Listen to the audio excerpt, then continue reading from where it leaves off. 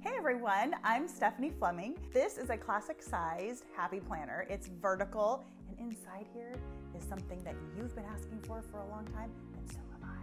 The weeks and the months are just very subtle, black and white. Um, you get to add the color. Creating a master list is one of my best tips for clearing your head of all those to dos and putting it on paper.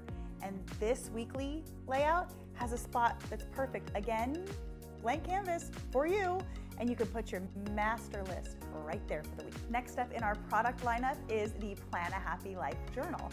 I think you can focus on two things that make a huge difference, and those are reflection and daily gratitude. And we've got two spaces for you right here.